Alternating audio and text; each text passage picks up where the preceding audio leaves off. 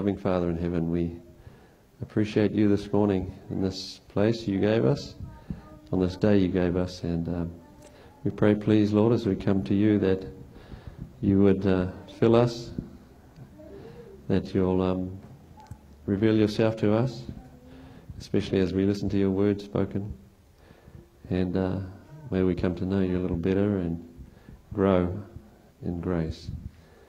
And uh, we remember, Lord, there's some of our uh, group that aren't here today, especially Joy, who's suffering uh, in hospital. We pray you'll be especially close to her this Sabbath. She'd love to be here and uh, with us, and we pray that you'll give her a special blessing, Sabbath blessing. And uh, we're so glad that Loretta can be here with us again. And uh, anyone uh, who's not here that we don't know about, we pray, please, a special Sabbath blessing for them. Lord, we are grateful to you for what you've done for us. That's why we're here today. And we remember the cross this morning and thank you that you would uh, give your Son to die for us. And may we appreciate again the cross today and um, may we dedicate our lives to living for you and to witnessing to the people around us. We pray for our town that we can be a shining lights um, for you and that people will be drawn to you because of this church. Please forgive our sin again this morning and uh, help us to be quick to confess. We thank you for repentance we can, where you can give us a new life. So we appreciate that life this morning. We especially pray for our little ones as they're growing up to learn these things. May they uh, come to appreciate your goodness and love for them.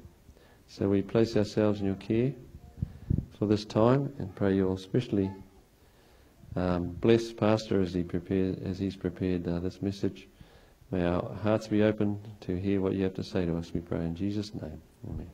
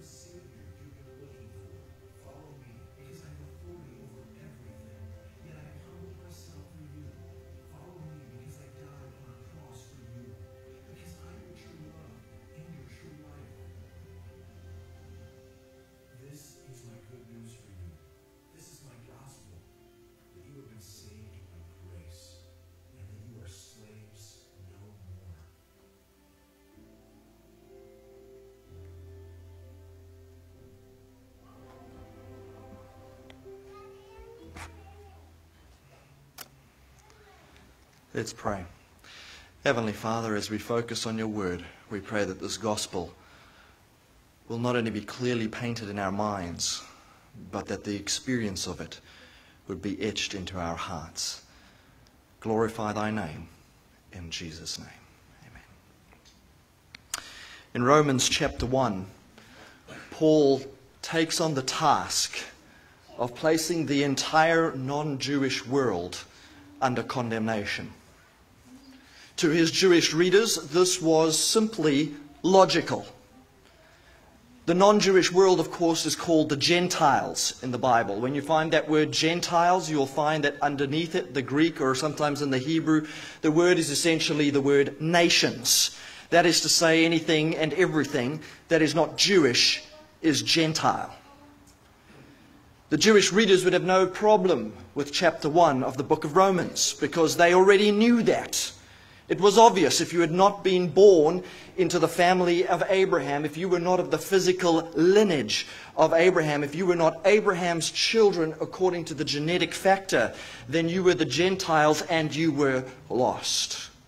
He describes how that God has revealed himself to the Gentile world, but they rejected that knowledge believing, choosing to believe a lie, and the result of that believing has led to consequences in behavior and action and um, you know, real life situations, just manifesting their unbelief and their lostness. Chapter 2 in the book of Romans, Paul shifts gear and he begins to shock some of his Jewish readers. Because he says that those who, are, those who are with the law, those who have the law, this would clearly be a reference to the Jewish nation, are too, in a similar way, under condemnation. Perhaps, he says, even more so than the Gentile world, because having the gospel, or having the law, as he calls it, they should have known better and acted differently. But he concludes by saying that yet you who have the law practice the very things that you condemn in the Gentiles, and on account of you, the name of God is blasphemed amongst the Gentiles. Because you claim, but you don't live up to chapter 1 of the book of, of, of uh, Romans places the Gentile world under condemnation. Chapter 2 places the Jewish world under condemnation. Now, that would have been revolutionary. That would have been completely unheard of. But Paul does this because he wants to lead both Jew and Gentile to the greater revelation, which is chapter 3 of the book of Romans, where he says, Because all are lost because of sin, because all are condemned, whether having the law or not having the law, because all are under the condemnation of the law, Jesus has died for all, providing salvation to all. Now, very often when we think of the book of Romans, we think of the, one of the greatest treatises on the concept of righteousness by faith, that we are made right with God by our belief in God. But Romans takes it a step further. He's not just talking about the subjective, the personal, the me, myself, and I experience of salvation.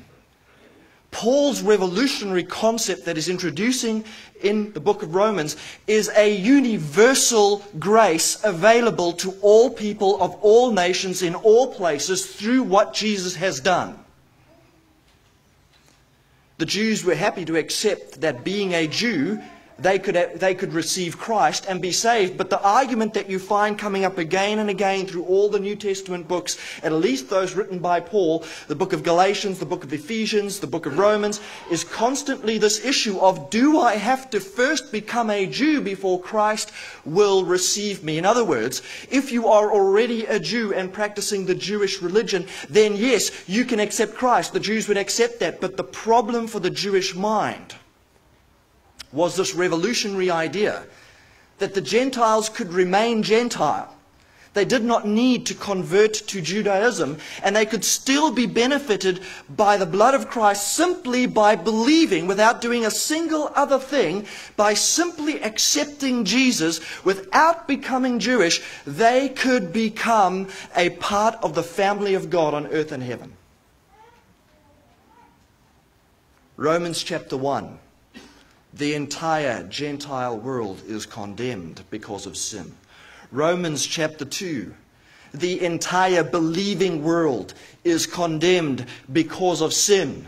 Romans chapter 3. Nevertheless, God has provided a manifestation of his righteousness apart from the law, so that whether you have the law or you don't have the law doesn't matter. There is a righteousness apart from the law that saves, and that righteousness is found in the person of Jesus. Romans chapter 4. He has to substantiate this revolutionary concept from Scripture. And so he goes to the Old Testament scriptures and he uses both David and the patriarch Abraham himself as the example of this radical revolutionary concept. Essentially, what he says is Abraham, the believer of all believers, the father of all who believed, were accounted righteous before God before he became a Jew. Our ancient patriarch, he says to the Jewish nation, the one that we track our Judaism from, the one that first appeared to, uh, or, or, that God appeared to and placed the call and made the promise of the Jewish nation, was at one time not a Jew. He was not circumcised. And there was no Jewish nationality at that time on planet Earth. He was merely a patriarch, a father of the nation who chose to believe God when God came to him and gave him the gospel promise and said, I will make of you a great nation. Yes, your wife is too old to have ch- children. She's past menopause. She's well beyond the hot flashes and all the rest of it. But she is going to be pregnant. And Abraham, we won't even talk about how old you are and incapable of having children you are. Forget about that. I'm telling you, Abraham, you are going to have a son. And through that son, I will bless all nations, and I will bless the world through your seed. And Galatians applies that word seed particularly to Jesus, which ties in with what Jesus said to the woman at the well in John chapter 4 when, she when he said to her, Salvation is of the Jews takes us right back to the original promise given to Abraham that Abraham, I am beginning with you to make something great. I'm taking you as dead as you are, and I'm taking your wife as dead as she is, and I'm going to bring forth something that is truly miraculous, something that is born of promise. Then I'm going to take that man and I'm going to make him a mighty nation. And then that takes us all the way down to the land of Egypt, right? 400 years after the promise is made to Abraham, when he brings the mighty nation of, of Israel out of Egypt. And then you've got the whole Old Testament era that you know the history of. Until eventually Jesus is born through that Jewish lineage and blesses the entire world by the death of the cross. When God came to Abraham and made that promise, he was essentially making that promise to a Gentile. Do you get my logic? He was essentially making that promise to a Gentile because Abraham was not a Jew. He was as uncircumcised as anybody else.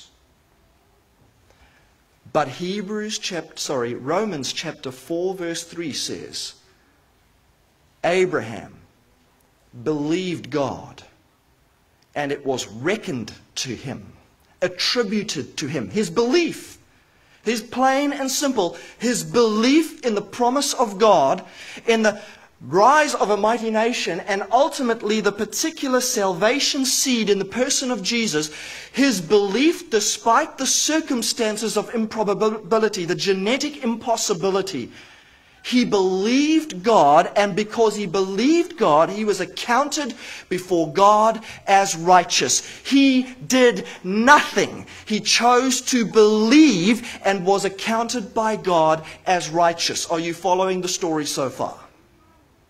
Then he was circumcised. Then the beginning of the Jewish nation happened. And Paul's argument is, if our father Abraham was to all intents and purposes, by the way, in his day you would have counted a Jew to be a Jew. If Abraham was to all intents and purposes essentially a Gentile who believed and was made righteous on the basis of his belief and nothing else, then why in our day and age can the Gentiles not be made right with God simply by believing without becoming a physical Jew?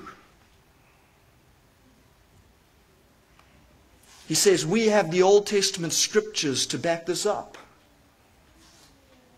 Salvation is not being saved by a church, a denomination, a nationality, a genetic inheritance. Neither is it being saved by your works. Salvation is choosing on the basis of Abraham to believe because he says in the book of Romans, all who believe are accounted to be children of Abraham because, far, because Abraham is the father not merely of a genetically incumbent nation, but he is the father of all who believe like he believed before he was circumcised while he was essentially a Gentile. What on earth does that have to do with us in the 21st century? Because nothing has fundamentally changed in the plan of salvation. If you want to enter the heavenly courts, walk through those pearly gates, put your feet on those golden streets, the prerequisite is that you choose to believe the promise of God. It has nothing to do with your past. It has nothing to do with what you may or may not do in the future. It has everything to do with whether you believe the promise of God. When God comes to you and He says to you, I have loved you, do you believe that? Or do you throw up all sorts of buts, ifs, and maybes? When God comes to you and says, I have forgiven you in Christ, do you throw up all sorts of buts, ifs, and maybes?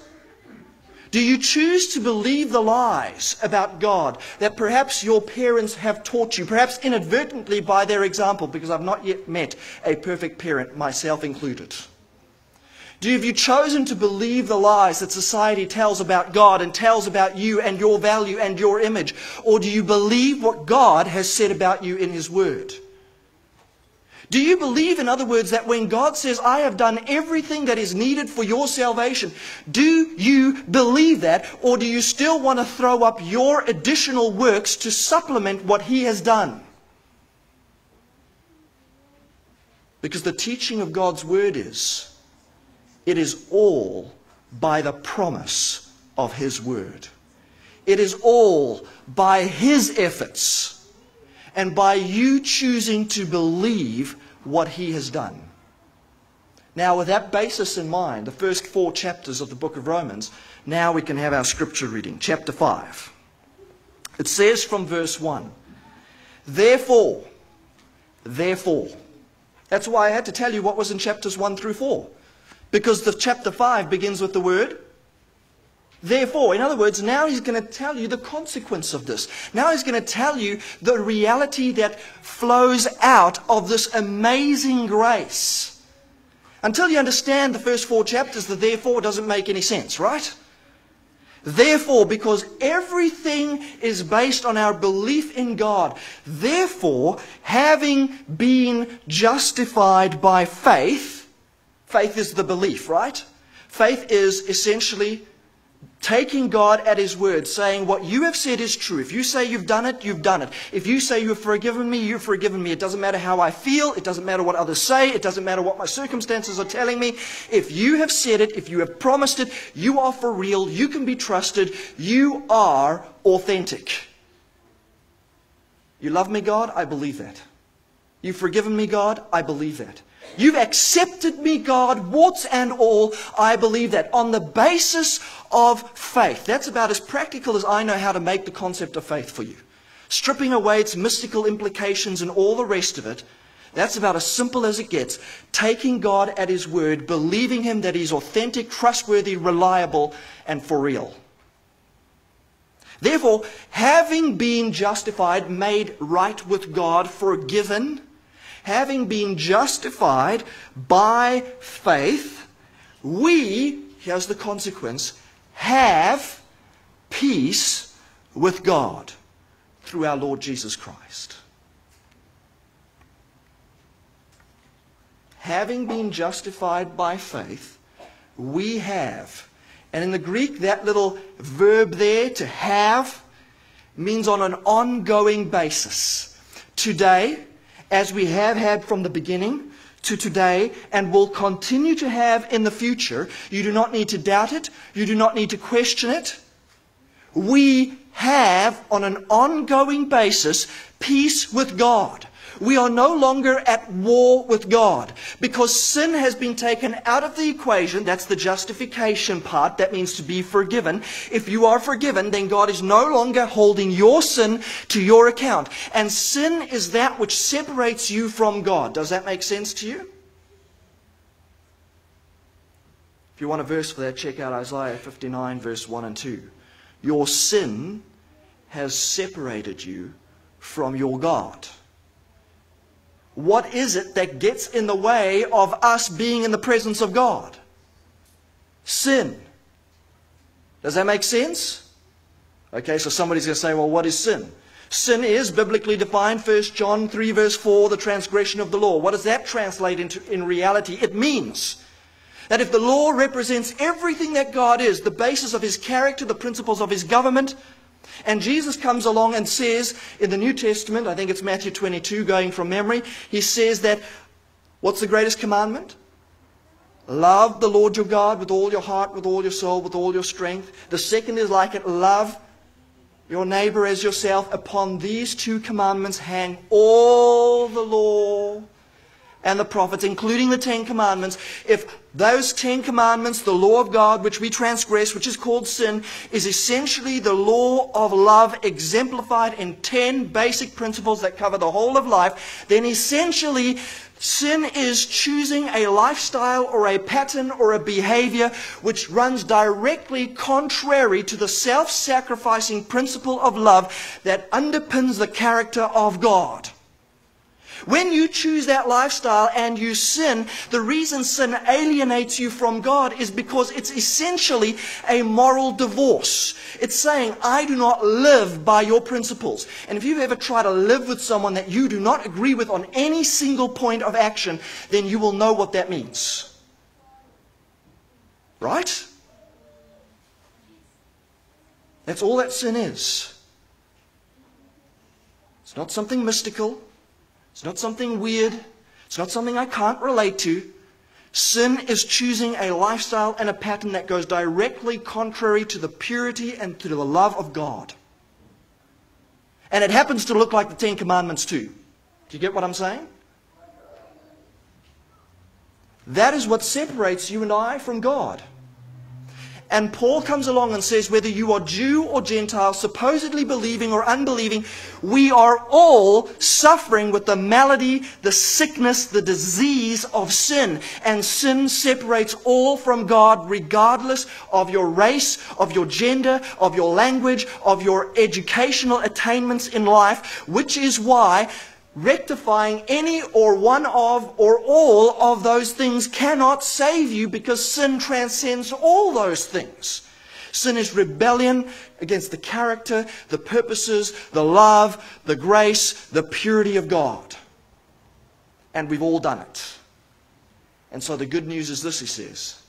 God has provided a way for every single one of us again to be made right with God. And it has nothing to do with your behaviors. It has nothing to do with your promises for the future. It has nothing to do with anything except what God has done and your choice to believe that what He has done is all sufficient.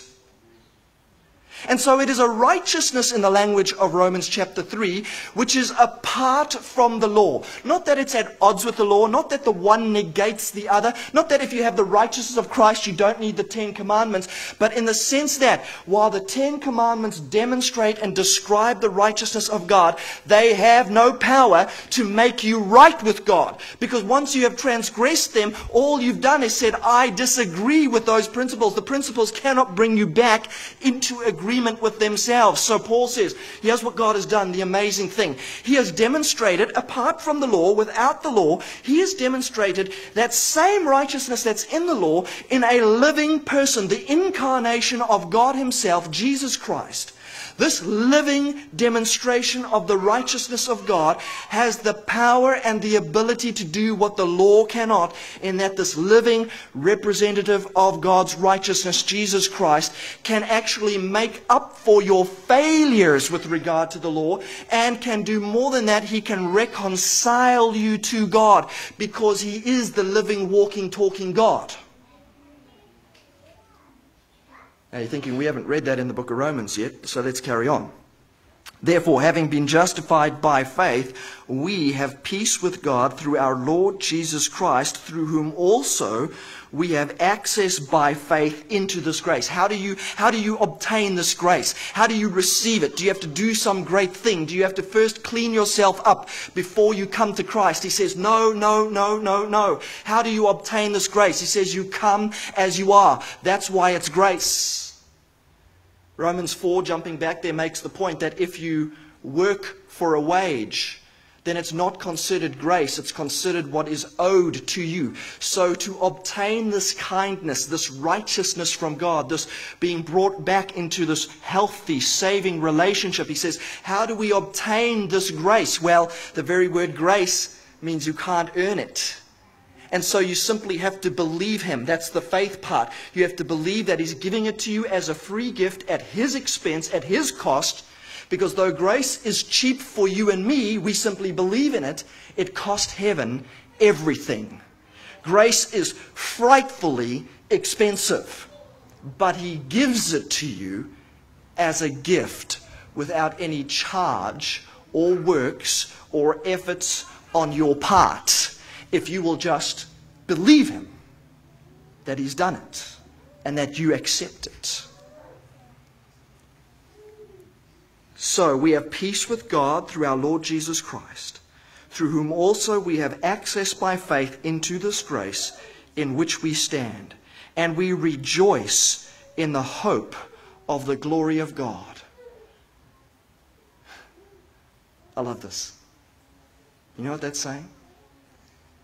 Saying when you choose to believe God, when you choose to accept that He is for real and that what He has done for you is for real, when you move into that paradigm of thinking, when you shift your consciousness so that you live in the reality, not in the maybes, not in the nice story, but in the reality that what He has done is for you and for real. He says, You have a reason to get up in the morning no matter what this life throws at you. We rejoice in the hope of the glory of God. We are looking forward to seeing Him face to face. We have a direction in life. We have a, something new to live for that this world cannot take away. This world can take away your family. This world can take away your wealth. This world can take away your health. This world can take away everything you own and possess. It can take away your life. But it cannot take away from you the vision and the expectation of face to face with God in the heavenly world. No one can take that away from you except if you choose to consider it a fairy tale and reject the reality. Not even Satan can forcefully take it away from you. Oh, he will try and convince you to give it up. He will put all sorts of allurements in front of you. He will surround you with persecution and discouragement, but not even Satan can take it away from you. Because we are made right with God by belief in Him alone, and it's not based on your works and what you do that's good or what you do that's bad. Get the ramifications of this. No one can take it away. Because what needs to be done has been done by God, and no one can change that. Do you understand the power of this concept? When you wake up in the morning and you think to yourself, my life is falling apart, why do I keep doing this for? You do it for something greater than this world. Why do I stay, stay alive in this world? Why not end it sooner? Why not give myself up to this concept of suicide? It's all pointless anyway. No, it's not, is what Paul is saying because we live, we rejoice in the hope of the glory of God. And that word hope in the Bible is not some uncertainty. You know, like, I hope I'm going to win the lotto. I don't play the lotto, that's just an example. Don't get any, don't use me as your example, right? You know, I, I hope I hope that my kids won't go off the rails. I, I hope this. I hope that. Really, when you and I use that word in common English today, what we mean is it's probably not going to happen, but it would be nice. Right? Do not read that interpretation into the word hope in Scripture because you will end up with completely the wrong understanding of what God is saying. The word hope in Scripture is an absolute, guaranteed certainty that you simply do not have present with you right now. Does that make sense? It's a guaranteed certainty. Heaven is waiting for you. Christ has died for you. He has guaranteed you the glory of God. It is a fact. You're just not there yet. One day, your physical body is going to catch up with the present reality. Did you get that? One day, your physical body is going to catch up with this present reality. You're just not there yet, but it's already a done deal. There's nothing you need to doubt about it, nothing you need to question about it. It is a guaranteed fact. It is a reality. We have been justified by faith.